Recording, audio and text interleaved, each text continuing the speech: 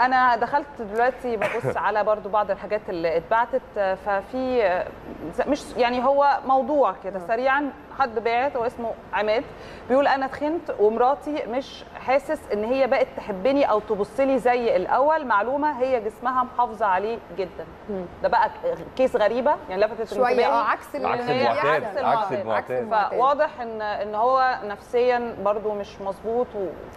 أنا بصراحة بشوف الوزن مرتبط جدا بالحالة النفسية.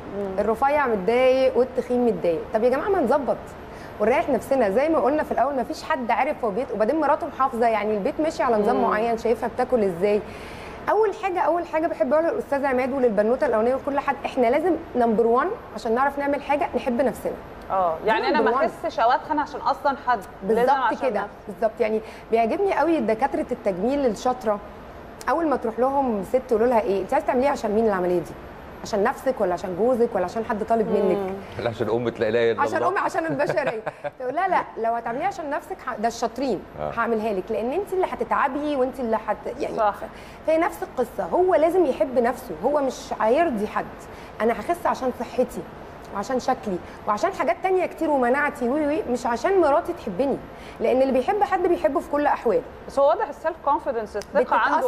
قلت. يعني ممكن. تكونش مراته أصلا عملت حاجة بس مجرد إنه حاسس إن في فرق دلوقتي في الشكل بس ف- ده أسهل له كتير. ليه؟ لأن بما إن مراته واخدة بالها إنها ماشيين على نظام even لو هي بتطبخ عادي هي بتاكل أقل هو شايفها. هما مع بعض في البيت. طب ما تعمل زيها.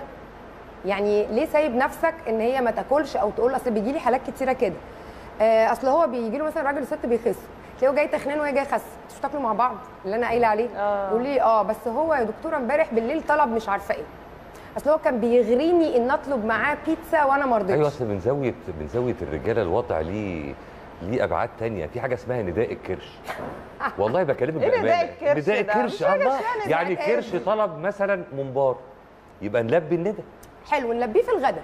مش لازم نلبيه الساعة 2 بالليل وإحنا قاعدين سهرانين. okay يعني توقيت الأكلة طبعاً. كمان بيفرق. أصل اللي بي... اللي بيطلب أكل أو ممبار أو بيتزا 2 بالليل ده متغدي على فكرة ومحلي وفطران وشارب شاي يعني مظبط حياته. okay. إحنا بالليل قاعدين بنتسلى. طب ما أنت مراتك عرفت تمسك نفسها عشان مصلحتها وعشان نفسيتها آه. وعشان جسمها وعشان صحتها وعشان ال self confidence بتاعها. طب ما تعمل كده. زي ما قلنا هو number 1 في أي نجاح أي نجاح الإرادة.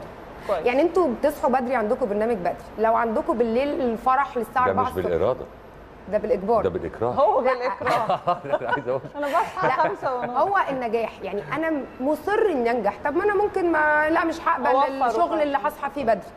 لا أي نجاح في الدنيا. أنا عايزة أطلع الأولى على الثانوية العامة. هقعد أذاكر زي البنات 30 40 طيب ساعة أنا عايزة 24. أسألك حاجة بقى مرتبطة جدا بكلامك ده عشان الوقت بيجري وليه علاقة بما إن إحنا قلنا في ال intro بتاعنا إن إحنا بنتكلم عن الصيف وده فصل مفروض إن الناس تخس فيه. تخس فيه. لما بنسافر بقى الساحل جونة أي مكان في مصر جميل بنصيف فيه في ال weekend إحنا بنرجع تخنانين.